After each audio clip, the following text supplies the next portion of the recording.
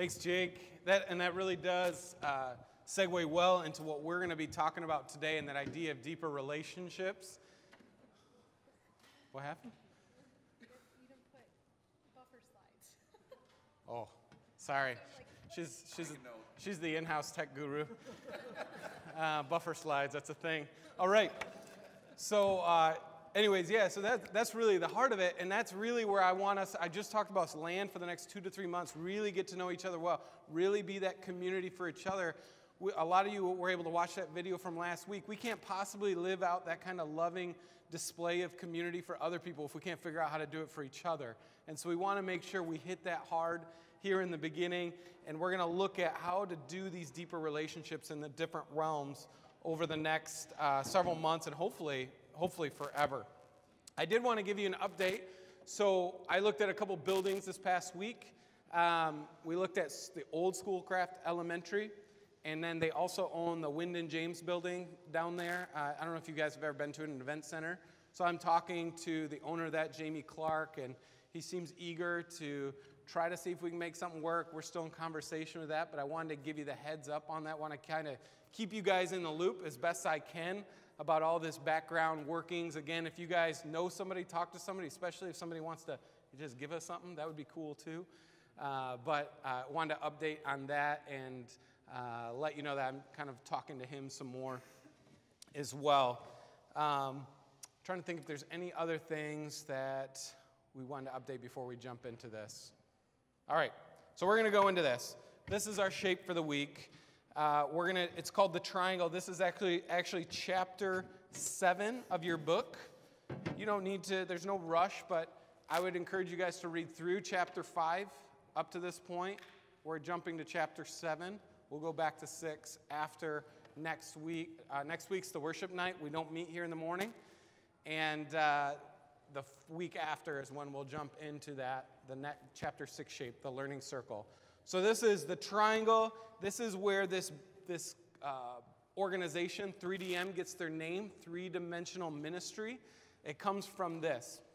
And so basically, if you look at Jesus' life, and this is where a lot of what they build their, their, their philosophy out of is saying, if Jesus is, the, is God incarnate, is, is quite literally God uh, created in human form because for many, many years, God's followers couldn't figure out how to do this whole following God thing very well. They kept, you know, it's, if you think about it from the beginning in the garden, he had God with, Adam and Eve had God with them, and they still screwed that up. And so we go and, and they were separated from God, and there was this weird, ambiguous time where God would just kind of interject occasionally with messengers and angels and that sort of thing. And then you see in the time of Moses, they're still not getting it right. And so God introduces the law, the Ten Commandments to help guide them to faithful living. Still not working. They introduce, gives them prophets to try to correct his people. And then we have Jesus, the incarnate God, come down and say, All right, you guys are worthless. Uh, he didn't say that. I say that. You guys are worthless. Let me show you how it's done. And so, a lot of how we build our ministry, we should actually try to mimic what Jesus does. And it's, it doesn't uh, dis, discount other scripture or anything. I'm not, I'm not saying that, but we should look at how Jesus lives his life and mimic that to the best of our abilities. And so, where they get this is they say, let's look at Jesus' life and let's look at Luke 6 um, and, and see this pattern really quickly. And so what happens is uh, Jesus, let's find here. Uh,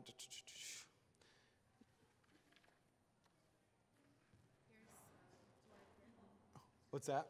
No, I'm good. So at the end of, or at the beginning of Luke 6, Jesus is doing, they're talking about Sabbath with the Pharisees, and Jesus is having this teaching about Sabbath. And it's because uh, Jesus is constantly going out. You see this pattern of where he'll go out and pray on his own. He'll go into these caves and pray on his own. He'll find that time with God, the Father, all the time. And you see, everything about Jesus is rooted in this relationship. Sorry, rooted in this relationship with the Father. And that becomes the very source. So, this is the heart. That doesn't work. This is the heart of how we should shape our lives, our relationships, our balance, our spiritual life too. Is Jesus always started with the up relationship with the Father. Everything was rooted in that relationship with the Father. He'd go pray. We see the night before he was betrayed, he's, before he was betrayed, he was in the Garden of Gethsemane praying to the Father. But this becomes the ultimate source of how Jesus lives his life well as man. And out of that, go on to Luke 6, you see uh, after this is when Jesus, uh, so right there, verse 12, on, the, on those days, Jesus went out to a mountainside to pray and spent the night praying to God. So he spent his night praying to God.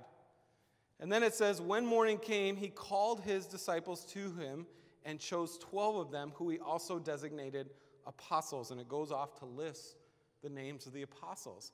So he starts in this upward relationship with the Father.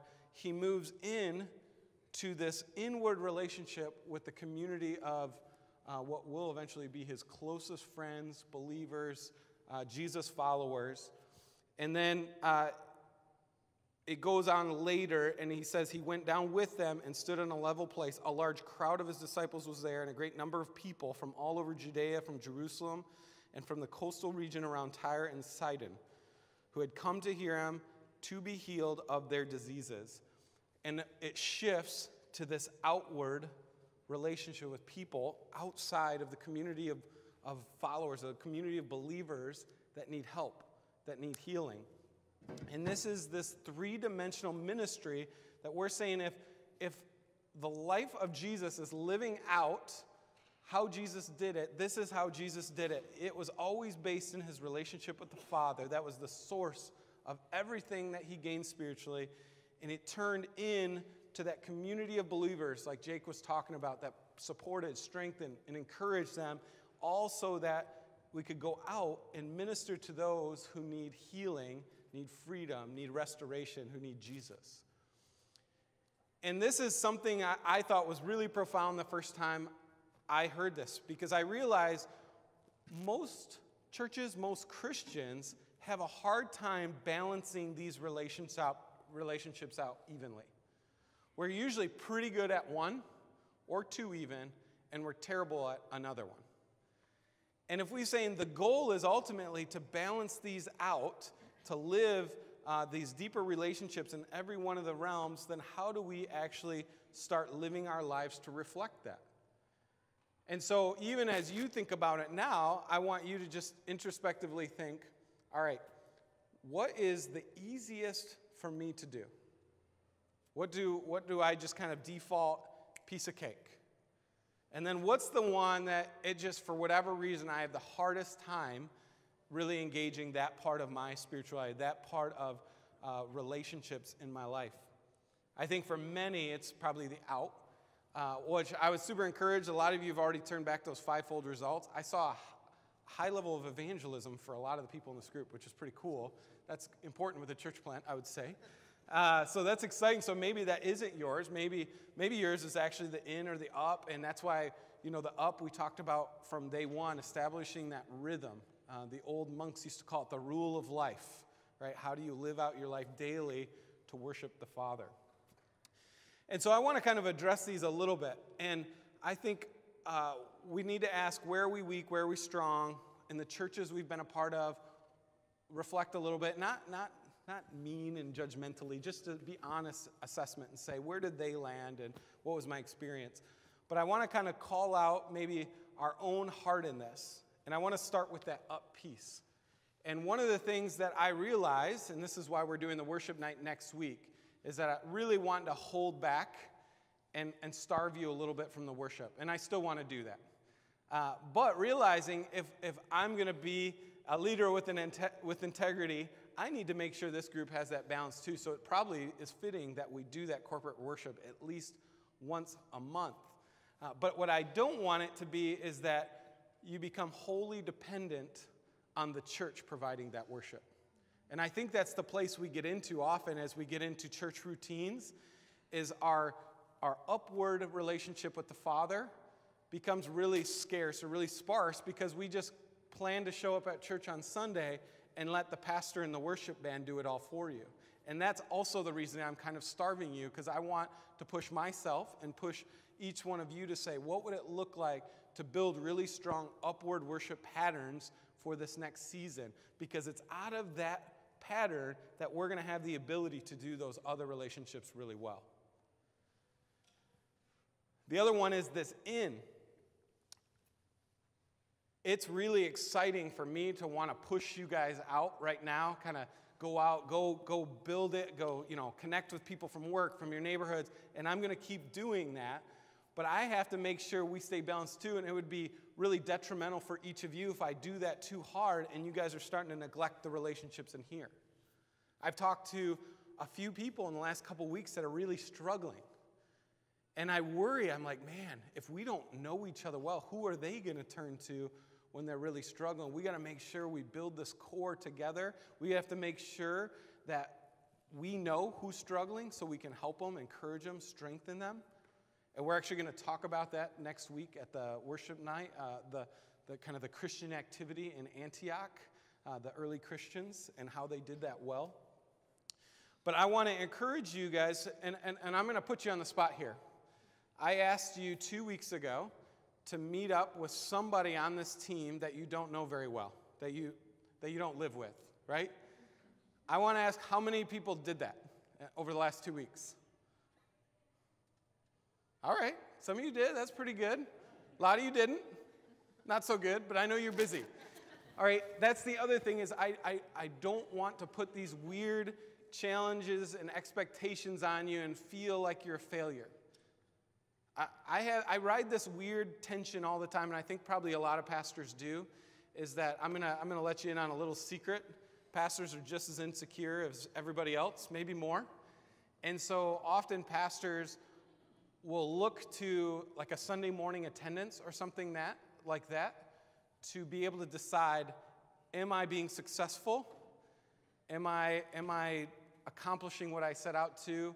And if they don't see that, then they get really insecure and then you get really hardcore challenged and then you, you might be pushed in that checkbox mentality. I don't want the checkbox, checkbox mentality here. I'm trusting you guys. So even those who didn't raise your hand, I don't want to judge you. I just want you to see that other people are doing it and be encouraged by that and maybe that extra added challenge because I think the heart of where real ministry is going to be done here is not here. And it's not even in the church building. If you're not here on Sundays now or in the future, my hope and my belief is that you're out doing ministry where it matters. And, and I'm not going to pressure you, but I'm, I'm letting you know right now, it'll probably drive my insecurities wild a little bit. Uh, so you just have to give me a little bit of grace there.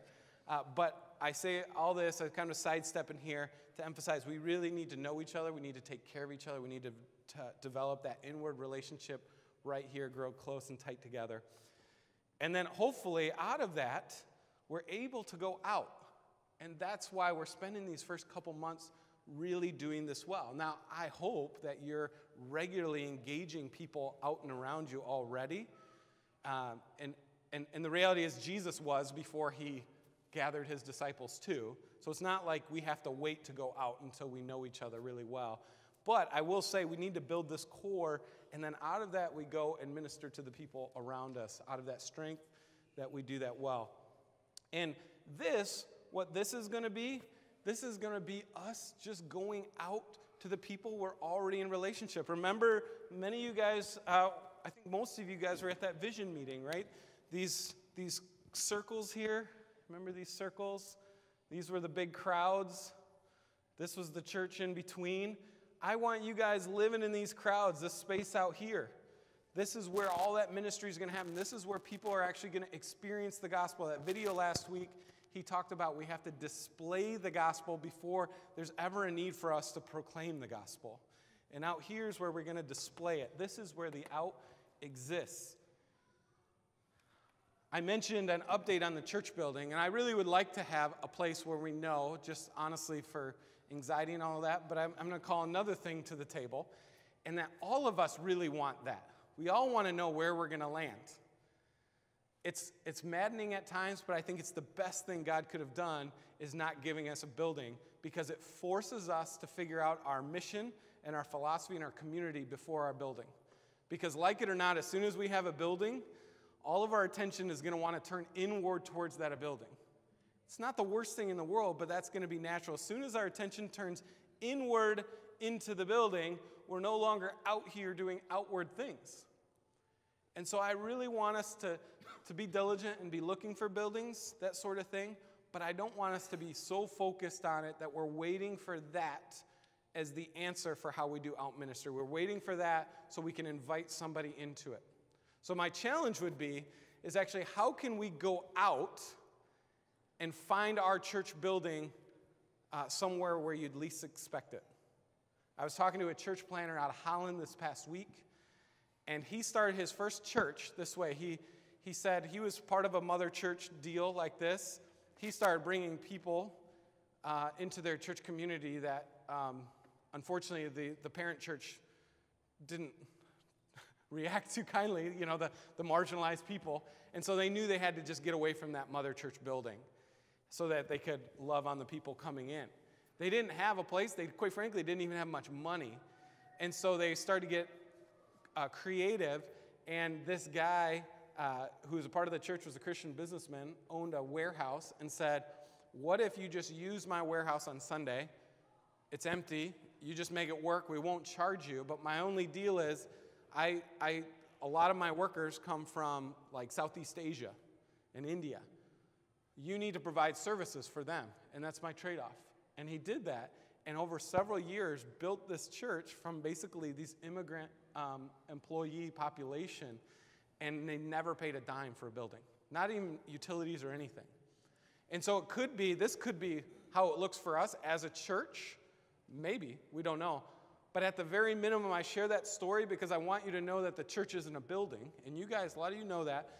But I want you to say to yourself if we don't have a building right now, where is my church for the next month?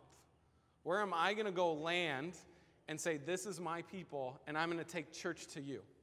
And just camp out there. Maybe that's in your neighborhood. Maybe that's in your workplace. Maybe that's in a local kind of community center like uh, the Y where you work out, or maybe it's uh, you know the local tavern where you like to catch up. Whatever it is, where is that place where you want to go out and set up church? And so those are those are kind of uh, to address where we're at, but also this balance that we want to attain. So I'm going to kind of let you guys go. I think we have some discussion questions here. No transition, right? All right. So I want you, actually, before you do this, you're going to take numbers out of there. You're going to go to a table, put the numbers back in before you leave the table so I don't have to cut them up and fold them again. Um, I want you to spend, what time is it here? It's 11:07. I want you to go to 11:15 and answer some of these questions on your own. Then go to the table that you draw and work through some of these questions with your people. Now, here's, here's my disclaimer on this. Is this might feel really uncomfortable to go through these personal questions with people you don't know very well.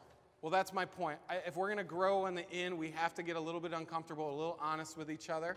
Here's the other thing is what I hope our these groups will be and long term our huddles will be is I want them to be a place where an individual can explore what is God saying to them, not what is Rick saying to them. Sorry, Rick. Right? I want I want you guys to learn how to ask questions and draw people out, not tell them what you think they should do.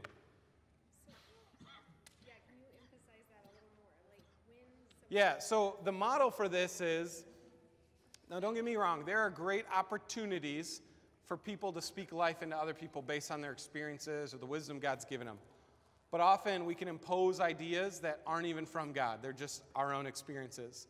And so, where a lot of times the group dynamic will kind of go in a circle, if you picture a wheel, they'll go from this person to this person, this person, this person. When we get into this huddle structure, there will be a, a leader of that huddle, and it'll look more like a wheel spoke, where that person's going out to those different people. Okay, that person is going to ask more questions than give more answers.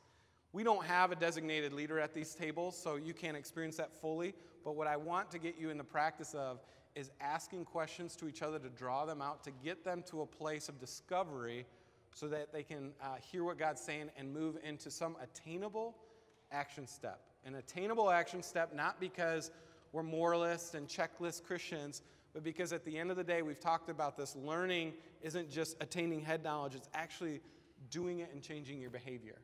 And so that's why we do those things. So take the next, I just took up three minutes of your time. Go to. Go to go to uh, like 11:20. That's 10 minutes. Answer these questions. Be thoughtful. We'll, we'll, we'll put on some music and then shift in your tables at 11:20 and just start going through those questions and making sure everybody has time to kind of walk through them.